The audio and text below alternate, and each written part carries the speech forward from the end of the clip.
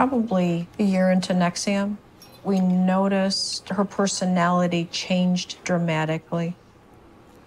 She became very controlled and she had lost her voice. You joining us, Belle? Are you gonna I'm gonna stand. you're gonna stand? Yeah. I actually do want to ask you a question, but I don't want to have a conversation like this, please.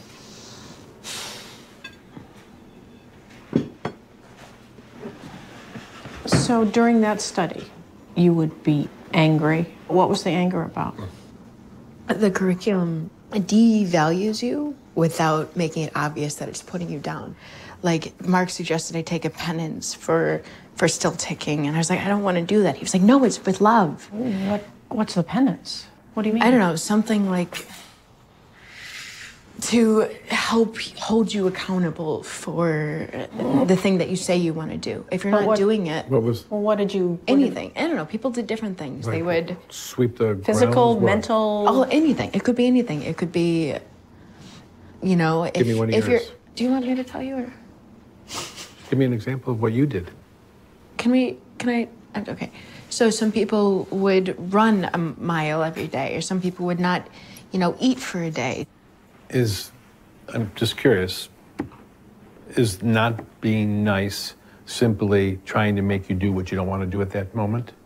No, it's it doesn't matter what you want to do. It's what they want to do, and then they say it's what you want, and then they break you. Like the harder you work, the more you struggle, and that's how they keep you in.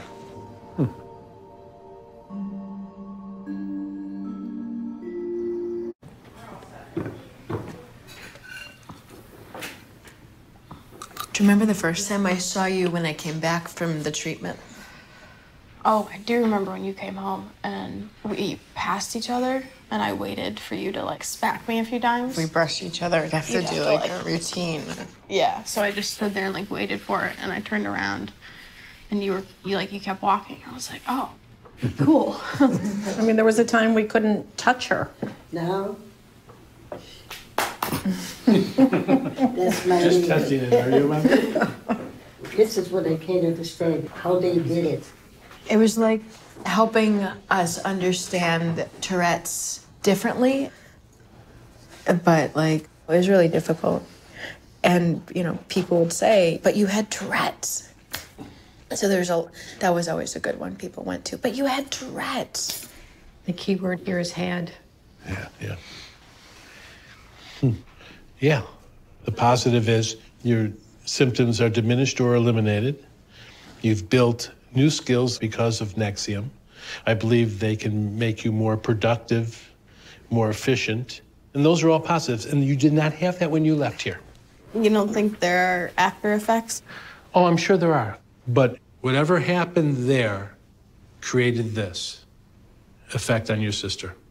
She was taking medications to the point where we were frightened for her longevity. No, I mean I agree with you guys completely. It's just a lot of it was when I came home. You guys didn't see how hard it was. It was like, okay, you need to get a job. You need to get going. It wasn't even like how far I've come. It was like you're behind. Once again, like in ESP, I don't feel a lot of choice here.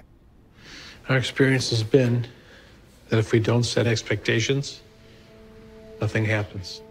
You don't realize how much, how much it's it's taken to get to this point. I'm getting better, but I'm not in a healthy space here. God. Can I get a This is a, I'm gonna I'm gonna step away because I'm a little defensive about it because I'm really angry. I think so. Sorry. Yeah. I don't know what's going on, man. I just